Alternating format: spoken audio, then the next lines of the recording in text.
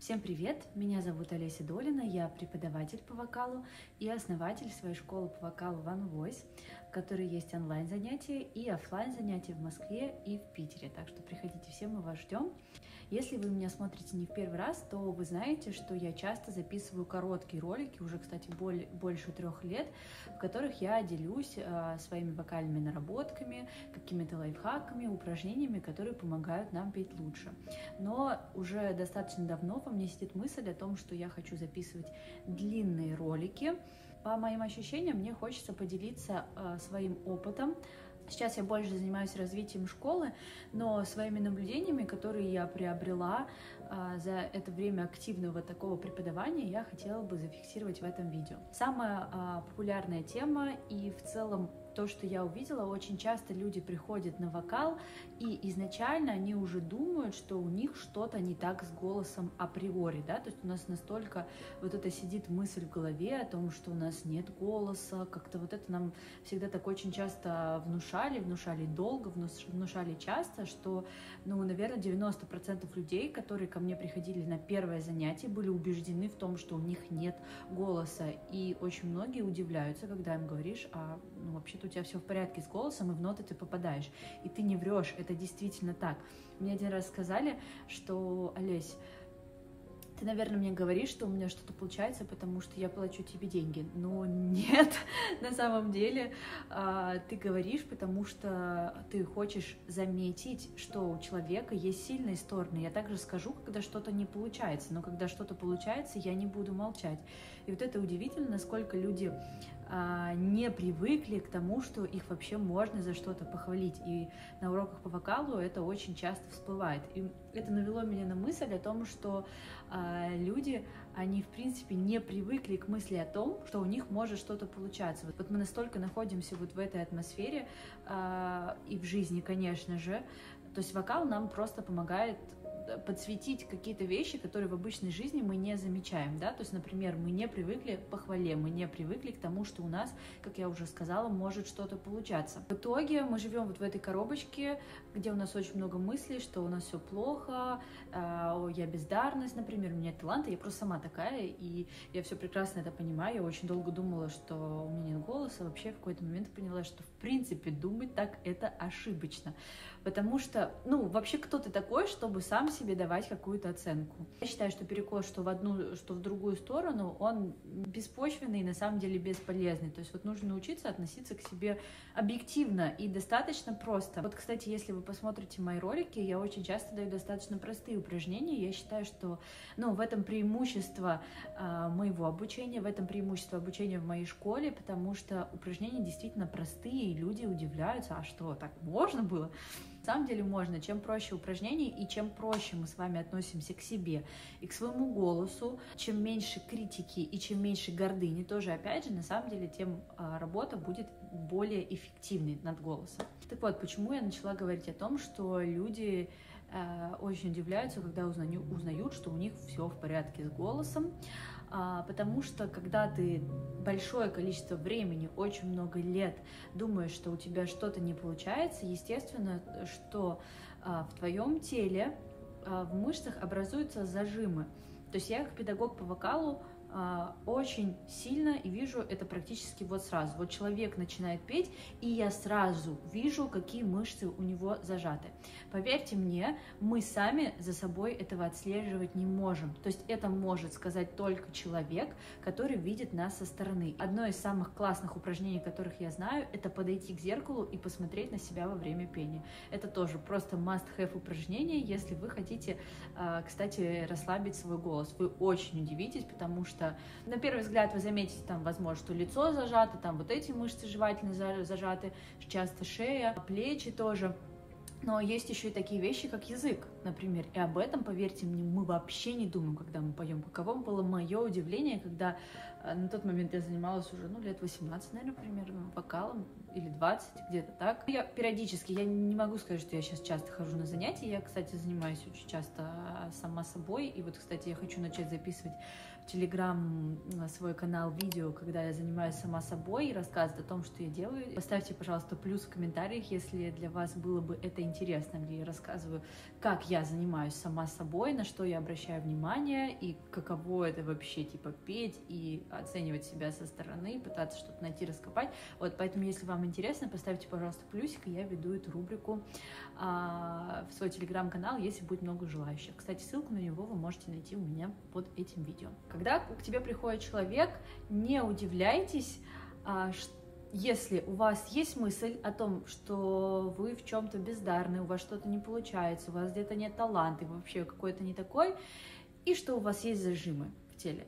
Это две вещи, которые, а, я не скажу, что они взаимосвязаны, это как бы часть одного единого целого. То есть не случайно в какой-то момент у вас появилась мысль о том, что у меня что-то не получается, я в чем-то плох, и, конечно, в какой-то момент это переросло а, в мышечный зажим, то есть наше тело, оно стало напрягаться. Что я хочу сказать? Что вокал на самом деле очень здорово помогает все эти зажимы в себе найти. Я просто обожаю вокал за это, и я как бы не могу больше молчать и делать вид, что это не так. Я долгое время а, как бы не то чтобы долгое время, я продолжаю рассказывать, да, какие-то технические вещи. Я не отрицаю то, что нужно повышать свою вокальную технику для того, чтобы петь лучше, но если мы с вами не будем смотреть вглубь вещей, не будем искать, откуда растут ноги, не будем искать причинно-следственной связи, почему этот зажим появился, я знаю кучу упражнений на расслабление своего тела, но э, я знаю, насколько важно, чтобы человек все-таки разобрался, откуда растут ноги, почему образовался тот самый зажим, почему э, у меня голос срывается, почему у меня петухи на верхних нотах. Поверьте мне, это просто так техникой не исправляется. Я знаю просто миллион.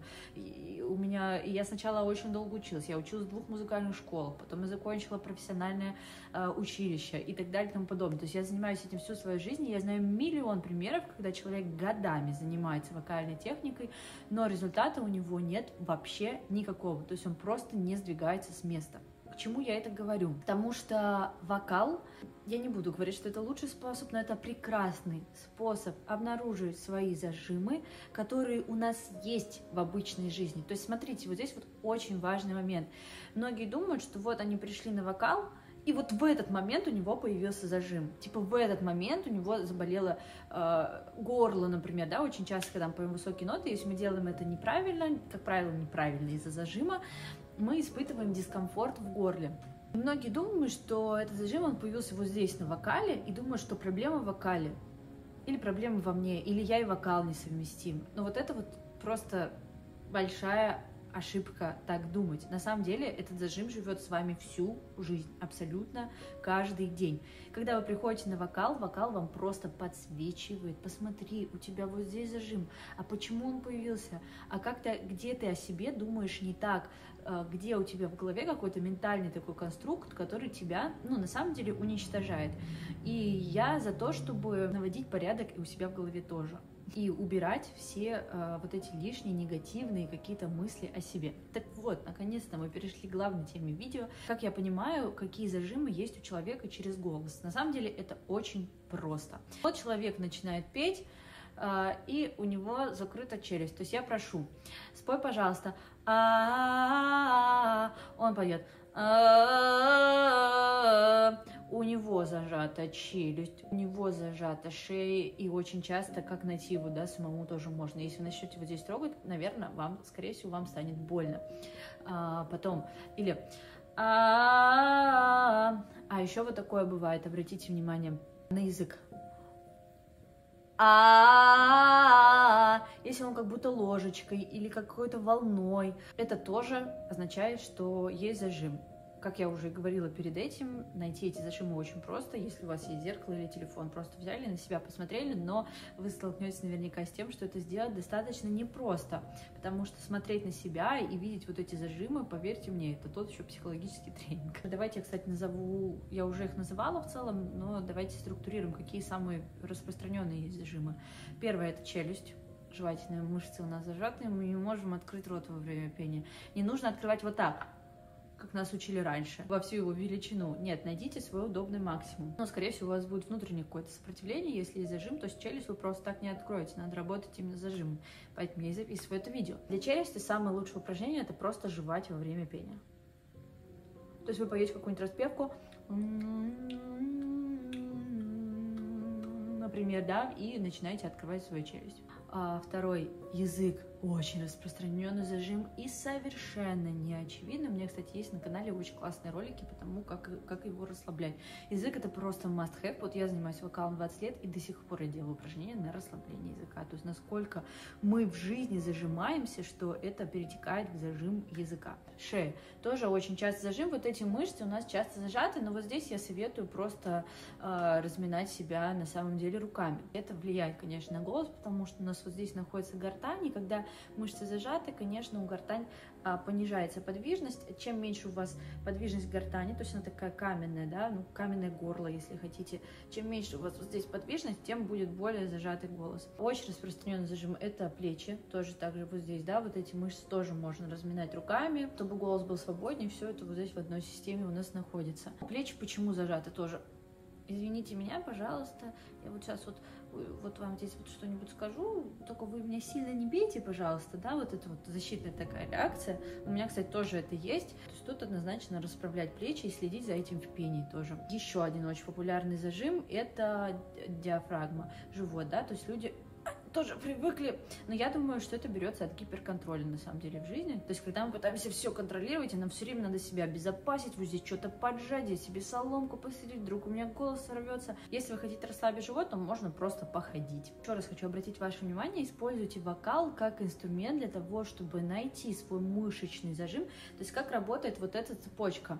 Вы начинаете петь, вы находите свой э, мышечный зажим, то есть зажим в теле, а голос у нас рождается в теле. И, конечно, если у вас есть зажим на уровне тела, голос тоже будет зажат. И э, не пытайтесь найти другого какого-то решения расслабить голос. Это э, такая очень прочная цепочка, поэтому нужно расслаблять тело, да. То есть что мы делаем на вокале? Мы на вокале начинаем там массировать себя, да, как говорил, там ходить на ногах, жевать, ну, в зависимости от зажима, который есть мы начинаем работать с телом, безусловно. Это уже супер полезная практика. Но если вы хотите еще более глубоко, как сказать, распознать причину того, что есть зажим, э, то есть, смотрите, работая на уровне тела, конечно, вы получите результат, безусловно. Это уже будет очень полезно даже для прокачки каких-то вот этих а, ваших психологических, да, ментальных блоков, потому что оно работает все в одной связке. То есть вы начинаете петь, конечно же, вы там э, начинаете работать как минимум с той негативной установкой, что у меня нет голоса. Поверьте мне, голос есть у всех. То есть мы все можем петь, танцевать, рисовать нету такого, что люди делятся на тех, кто умеет петь, тех, кто не умеет петь. Такого просто нет, это просто, я не знаю, зачем, в общем, это было создано, вот я считаю, что об этом надо просто забыть. Когда вы начинаете работать с вокалом, вы начинаете работать с телом, конечно, вы начинаете работать с собой на уровне ментальном. Почему после вокала появляется энергия, почему а, появляется такое вот приятное расслабление, потому что вы посвящаете внимание себе и своей больной точке, как правило, в любом случае. Так вот, если вы хотите либо поработать с какой-то ментальной установкой, найти еще свои зажимы и так далее и тому подобное. Почему я про это рассказываю? Потому что я сама такая и постоянно этим занимаюсь. В общем, ищу свои зажимы. Или вы хотите, ну, действительно, вы хотите научиться хорошо петь, это взаимосвязано. То есть вот то, насколько можно звучать свободно, настолько вы должны быть внутренне раскованы, и одно без другого не работает. То есть я уже не знаю, как рассказывать о том, что просто изучать вокальную технику для того, чтобы петь круто, это мало. Очень важно работать со своей головой. Вот здесь есть вот эта цепочка. Свободный, ну, наш голос, естественно, да, ощущения в теле, мышечные зажимы и так далее и тому подобное – и вот это наше, а, как бы, вот эти вот ментальные, да, ограничения, ну, какие-то лишние негативные мысли о себе, ну, которые я прекрасно понимаю, как просто так сложно убрать. А, но за все время моей практики, что еще хотела сказать, я не могу сделать вид, что это существует отдельно что можно просто взять и научиться петь. Не могу я взять и передать человеку технику. То, что я пою, то, что я сейчас сделала, то, как звучит мой голос, это работа над собой не только в техническом плане, не только в наработке вот этих каких-то навыков. Это работа с головой и с телом. То есть я постоянно отслеживаю, естественно, в себе. Ну, в себе это делать сложнее, сразу вам скажу. Когда вот я одна, это прям сложно, потому что внутри еще включаются механизмы, которые, ну, они защитные. И идет как бы внутреннее такое сопротивление. А работая с другими, я очень легко нахожу вот этот зажим и нахожу какой-то конструкт. Например, вот у меня э, есть ученик, ну вот если брать зажим, у него, например, челюстной и э, язык зажат. И я вижу, я понимаю, что этот зажим, ну, мы работаем с ним технически, да, мы делаем какие-то упражнения. А, вот этот ученик выступил еще на концерте, и я просто вижу, что работа идет в две стороны. То есть, с одной стороны, человек очень хочет петь, он хочет проявляться, но это в данном, это вот просто индивидуальный случай из моего опыта, из моей практики. Это может быть не про кого, а может про кого-то из вас. То есть, одна его часть хочет петь, а другая его часть считает, что петь нужно только идеально. И если я не пою идеально, тогда зачем же я вообще пою? И я понимаю, что у человека есть внутренний конфликт на самом деле, да, то есть мы опять же уходим в какой-то ментальной установке, что петь можно только идеально. И в этом случае, в этой связке это дало зажим челюстной и языковой, да, то есть понимаете, насколько это работает. Голос просто отражает то, что происходит у нас внутри, и показывает это через тело. Понимаете, какая связка, да? Обращайте внимание на то, какие у вас зажимы, обращайте внимание на свои ощущения, когда вы поете. Если вы действительно хотите научиться классно петь и дышать, просто упражнения это мало. Обязательно нужно работать с собой, потому что, опять же, такой голос, как у вас, он один-единственный в природе. Каждый из вас уникальный. И чтобы раскрыть свои уникальные, uh, уникальное вот это звучание, да, это называется у нас тембр, вам нужно обращать внимание, быть внимательным к себе. А где у меня болит? А где у меня какой-то зажим? А что значит этот зажим? А почему этот зажим появился? И поверьте мне, ответы на эти вопросы, они есть внутри вас, но, безусловно, с педагогом их можно найти еще легче. Я это говорю просто потому, что я, я знаю, о чем я говорю. Да? То есть, когда мы находимся, в принципе, с другим человеком во взаимодействии, это, эти вопросы, они решаются, конечно, быстрее. То есть тут на ваше усмотрение, как вам хочется. С этим можно работать. Вот, на сегодня все. Ставьте лайк, подписывайтесь на мой канал. Я думаю, что я в ближайшее время буду больше записывать таких видео, потому что у меня есть внутреннее желание делиться своим опытом и практикой. Поставьте любой моди в комментарии или вообще просто напишите любой комментарий, что вы думаете по поводу этого видео. Делитесь своими историями, подписывайтесь на мой телеграм-канал. А, я не знаю, задавайте вопросы. Вот, всех обнимаю, всех люблю, все ссылки вы найдете под этим видео. Всем пока!